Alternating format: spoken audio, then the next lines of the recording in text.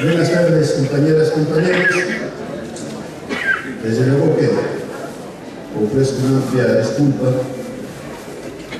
a todas y a todos ustedes por llegar apenas hace unos minutos, pero vista la problemática que estamos enfrentando en distintos conceptos, tuvimos la necesidad el día de hoy de así se pactó una junta con funcionarios del gobierno para poder establecer mecanismos y procedimientos que traigan como resultado la solución a la problemática que enfrentamos. Eh, hubiéramos querido llegar antes, pero bueno, una cosa es la reunión y aparte el tráfico de una marcha que nos agarró por ahí, ahí en la Avenida Juárez, no nos permitió llegar como acostumbramos casi siempre puntuales. Yo sé que ahorita va a ser difícil para mí eh, brindar un informe que estoy descontextualizado de lo que aquí se ha platicado. Sin embargo, debo de refrendar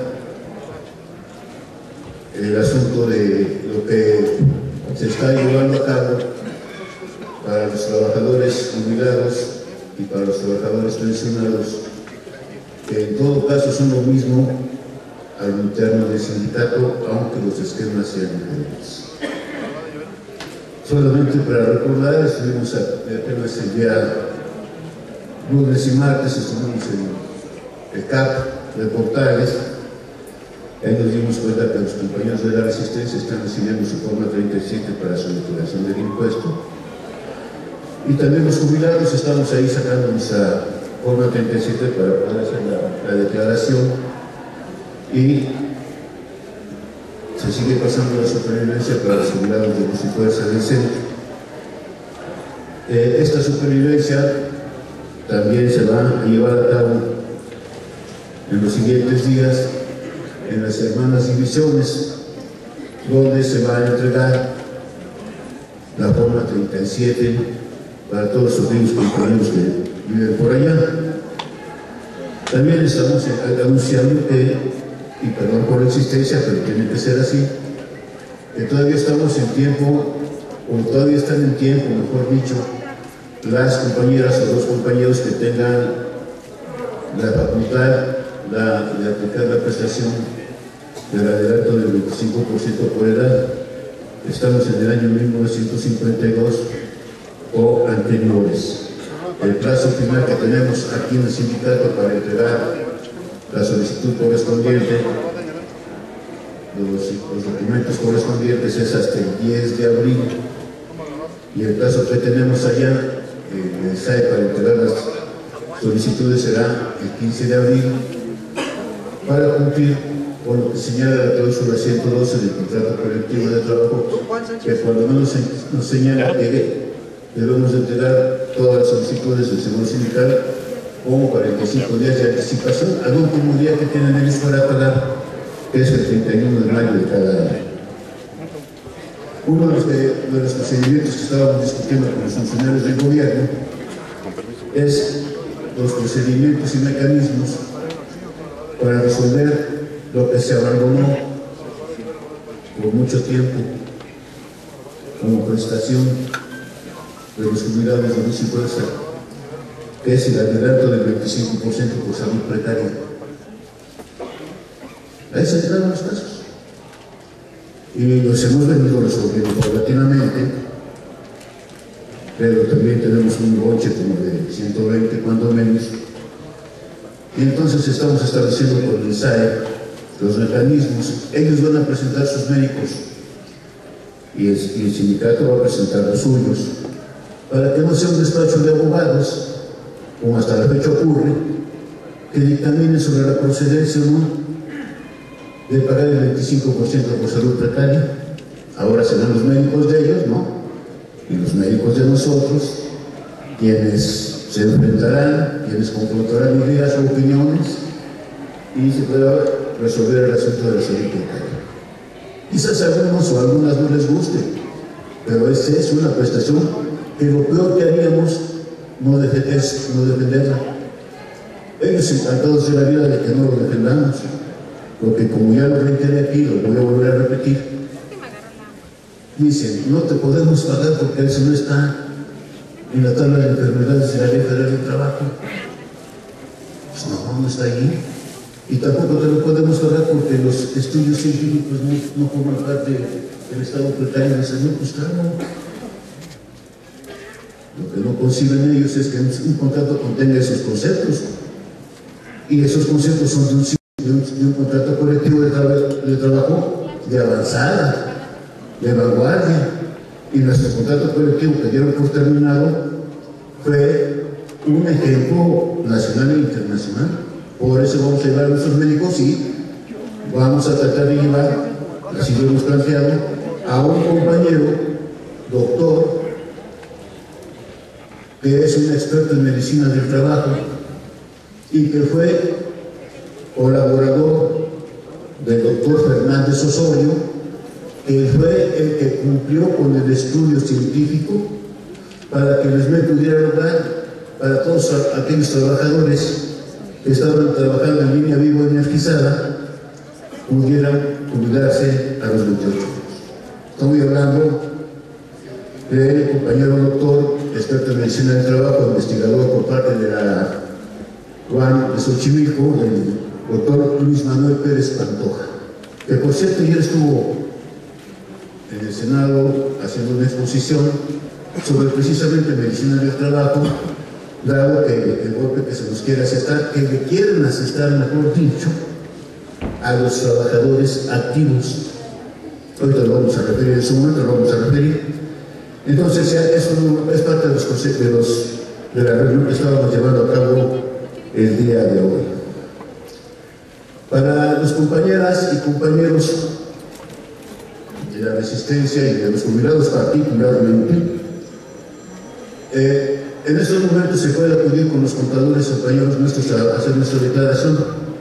Les van a tomar los papeles, los van a orientar, pero no se va a poder hacer la declaración, o no se va a hacer la declaración, hasta en tanto Hacienda no precargara con los datos de nosotros su página, su espacio. Hoy, 15 de marzo, debe Hacienda precargar la hoja para que, se pueda, para que podamos hacer nuestra declaración con la persona que querramos, con la persona que querramos, compañeros y compañeras, para que no haya aquello de que las suspicacias y todo aquello, ¿no? Con, con quien querramos podemos hacer la declaración. Si es que Hacienda carga la página con los eh, cargos a nosotros con nuestros datos. Para los compañeros del el esquema de pensión vitalicia en renta, en renta este, este esquema, seguramente José ya lo refirió, ya se normalizó el pago y en una columna adicional que dice ajuste viene el resarcimiento de la cantidad que les fue descontada y viene la normalización del pago de los compañeros de renta vitalicia, aun cuando, y lo digo de manera fraterna, aun cuando pretenda descalificársenos porque los esté teniendo el secretario general. Qué bueno que los está teniendo nuestro compañero secretario general, pero eso no nos inhibe y mucho menos nos prohíbe que atendamos los asuntos de nuestros compañeros renta vitalicia. Al contrario, estamos ahí en, esa, en ese entendido de estar siempre abiertos a lo que pasa ahí para poder resolver lo que a derecho corresponda. Y podemos decir, refrendando lo que ya se- seguramente se dijo, es que el próximo 27, 28 y 29, aquí en este salón, se va a pasar la supervivencia de los compañeros en los esquema de la renta vitalicia, de las 8 y media de la mañana a las 6 y media de la tarde. Tienen que presentar dos requisitos. La credencial y copia de su credencial de elector y copia también con su original de el domicilio último en el que estamos viviendo. Es necesario el comprobante de domicilio porque se tienen que actualizar los datos de ese esquema de renta vitalicia. En todo caso, aquí mismo se va a entregar a quienes vengan a pasar la supervivencia la forma 37 para la declaración del impuesto. Bastantes compañeros de renta vitalicia, a bastantes compañeros, se les va a entregar la forma 37 en ceros, porque no deben pagar impuesto. Y a algunos compañeros sí se les entregar su forma 37 con sus respectivos datos y sus emolumentos y sus ingresos, porque rebasan la pensión eh, que, se, que, se, tasa en la, ley de impuestos sobre la renta y para aquellos cumplidos que tienen una pensión por encima de los 30 mil pesos, ellos sí van a tener la necesidad y la obligación de poder manifestar su declaración de los impuestos. Ahora bien,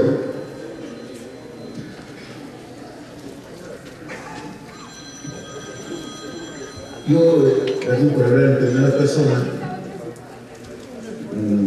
he venido insistiendo mucho, preocupado, ocupado preocupado, de que no capto, no siento eh, agitación, participación, inquietud por parte de los jubilados del ESME ante los escenarios que se están planteando en términos nacionales. No veo. Y me preocupa mucho que no estemos observando y participando y rechazando, desde luego, lo que nos pretenden hacer estos individuos, que es ni más ni menos reducir o anular en todo caso las prestaciones que tenemos, particularmente las pensiones y jubilaciones. Alguien la semana pasada, después de una reunión aquí, que fue el miércoles pasado, decía, no, se está levantando mucha barrera porque nosotros ya no hay quien nos toque. Y yo quiero decirles algo. Hay una jurisprudencia, bien que voy a decir, hay una jurisprudencia emanada de la Suprema Corte de Justicia de la Nación respecto de Comisión Federal de Electricidad. A los trabajadores de la Comisión Federal de Electricidad, jubilados de Comisión Federal de Electricidad. En resumen dice que no tienen derecho a la prestación del suministro de energía.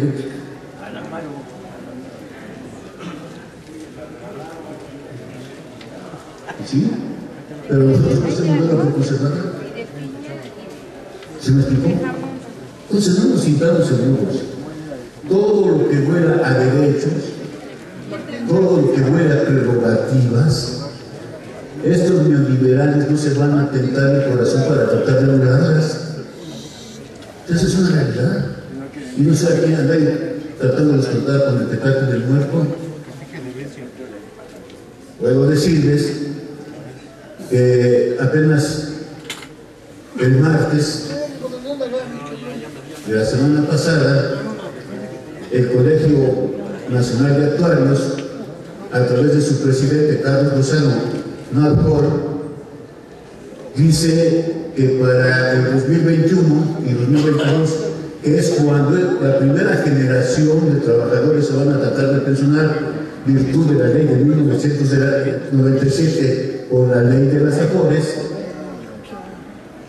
cuando menos 5 millones y medio no van a poder cobrar su pensión porque no reúne los requisitos de la acumulación de 1.250 aportaciones, 1.250 cotizaciones para poder cobrar una pensión. Y alguien puede preguntar, bueno, sí, Carlos, pero esto es para la, la onda de los que son de la, de la ley del 97, para poderlos inquietar un poquito. Eso es para ellos. Pero lo que pretenden ahora, a través de la OPE, es prorratear mi derecho de la ley de 1973 promediarla con lo que dice la ley del 95, desaparecer, apoyar la ley de 1973 y únicamente promediarnos con lo que ganamos los últimos cinco años de salario con nuestra empresa, se promedia y es lo que vamos a cobrar de pensión. De pensión legal, ¿saben a cuánto corresponde el promedio? Entre el 24 y el 25% de nuestro salario. Y ya no estoy hablando de los relatores, estamos hablando de la ley de 1973, en donde cotizamos la gran mayoría de nosotros. Eso es una cosa que debemos de advertir. Y luego nos dice el propio Carlos Lozano Madfol que hay una generación en donde pueden estar nuestros hijos o nuestros nietos, según sea el caso, una generación que le ha dado por llamar los millennials, que es una generación que nace en 1981 y hasta 1995. Estos compañeros que están trabajando, aún trabajando, no van a poder cobrar su pensión porque no tienen un trabajo fijo y por tanto no cumplen con las cotizaciones. Tienen un trabajo temporal, lo sacan, los vuelven a meter en otro trabajo distinto y hacen meter otro trabajo y no tienen firmeza ni certidumbre para poder cobrar sus pensiones.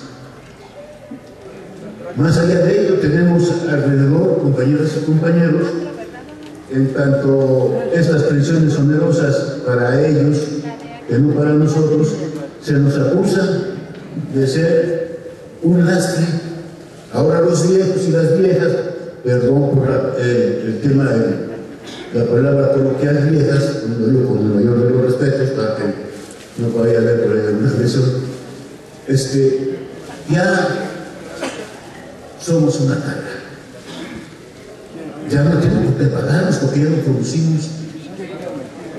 Quieren cambiar la ley para que las pensiones puedan proceder a partir de los 72 años que tengamos, es decir, mayor explotación para el ser humano. ¿no?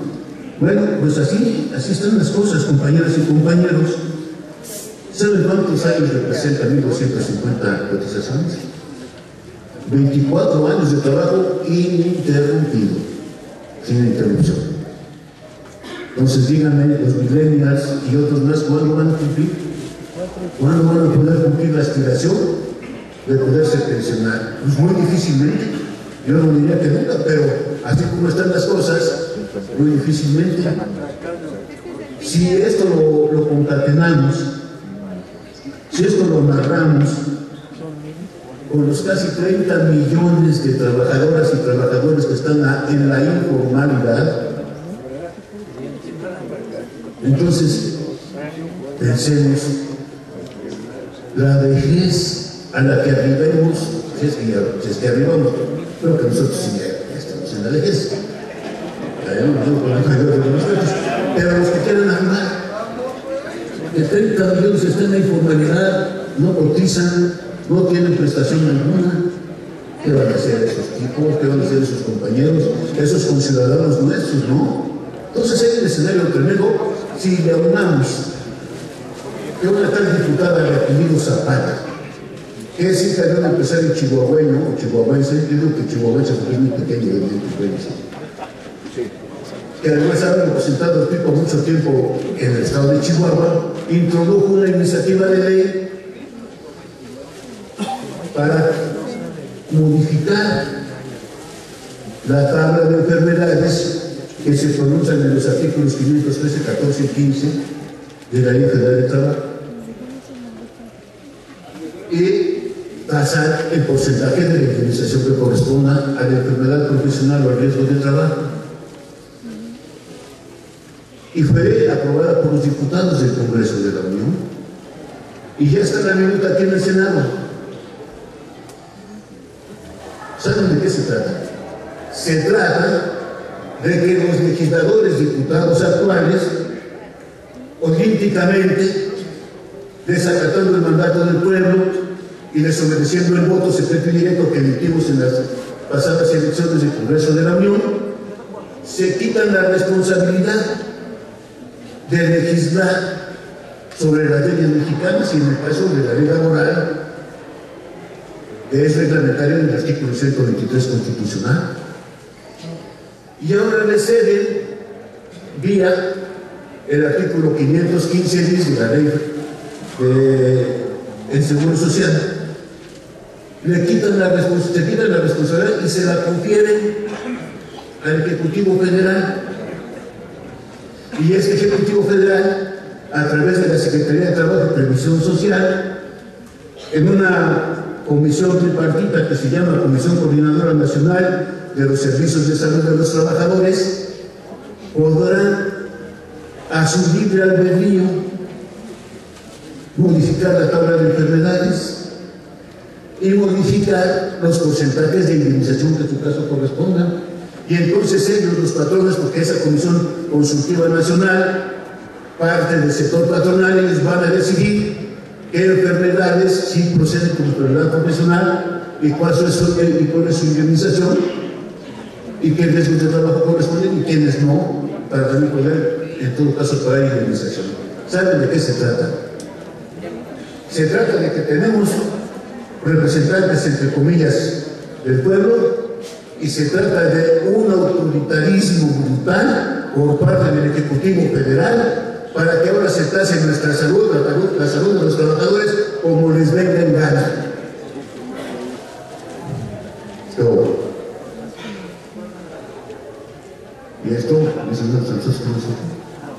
Pero tenemos compañeros que están trabajando ya con un contrato colectivo y otros que están virtud de una sociedad cooperativa tratando de ingresar a los que les va a pegar fuerte la situación si no somos capaces solidariamente como comunidad de este sindicato de defender sus derechos de estos compañeros, ¿o no?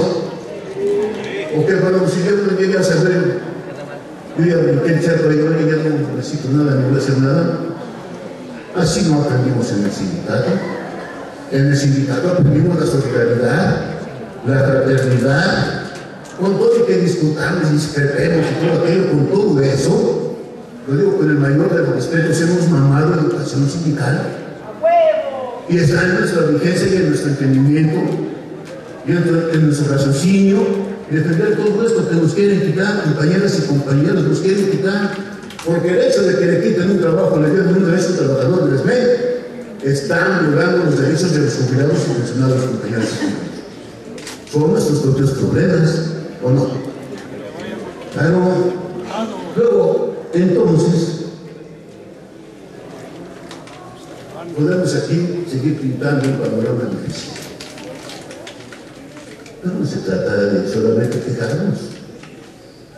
Se trata de que podamos responder, vivir y femenilmente a estos desafíos que nos ponen los, neoliberales. Y entonces ya se convoca para una asamblea el 29 este mes. Un acto político que se hizo hace ocho días. Fuerzan la decisión de una asamblea el 29 de abril. También, correcto. Esa es la práctica común del sindicato. Pero hay que ubicarnos exactamente en el momento de la discusión corresponde a una asamblea de jubilados discutir todo lo concerniente a su problemática. Otras cosas que no se ventilan en la problemática de jubilados son tema de una asamblea general. Cada cosa en su lugar. Así debe ser. Claro, habrá quienes pretendan involucrar otras cosas, bueno, sí. Pero ya que se invocan los estatutos, obedezcamos los estatutos. Más ni más para allá, ni más para acá, lo que esté marcado estatutariamente, y ahí centramos la discusión. ¿Para qué?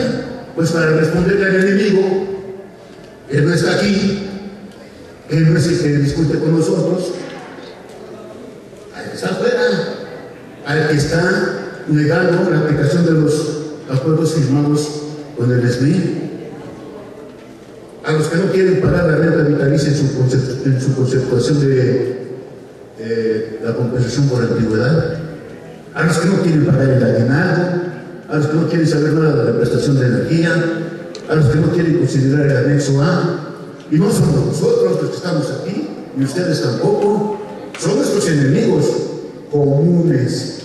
Que se discuta lo que se discuta, hombre, adelante. Pero centrando las cosas en lo que no hemos podido como sindicato resolver. Y entonces sí, que se tomen los acuerdos correspondientes en lo que a derecho corresponde. Es justo llamar a, la madurez, a la experiencia que tanto presumimos tenemos como comunidad. Y si lo tenemos, la experiencia la madurez y el conocimiento. Pues entonces hay que aplicarlo correctamente y evitarnos de grillitas que están por ahí en las redes sociales, que descalifican a otros, que los quieren confrontar con aquellos, y toda una serie de artimañas que se tejen en derredor de la problemática general del sindicato. No estamos chupando el dedo, no somos nuevos, no somos nuevos. Ninguno de nosotros somos nuevos ni nos van a ver la cara de majes. Quienes en su afán de protagonizar escriben dañeramente o escriben en redes sociales o descalifican a unos y a otros. No, no somos nuevos. La respuesta va a ser clara. La Comisión de Trabajo tiene que ser muy clara en los planteamientos que haga y la dirección del sindicato igual. Y entonces a ver, vamos a ver qué sindicato seguirá respondiendo a las necesidades y derechos de sus trabajadores en resistencia, de sus trabajadores pensionados y de sus trabajadores jubilados. Y el sindicato, a pesar de los pesares, de quienes estén en contra, de quienes estén allá echando de afuera, de quienes tengan contubernios con otros grupos políticos de allá afuera, van a ver que todavía aquí hay sindicato, hay trabajadores, hay pensionados, hay jubilados, hay dirección sindical. Y así el sindicato va a seguir prevaleciendo por siempre y toda la historia. Muchas gracias. Mantente alerta a nuestra transmisión.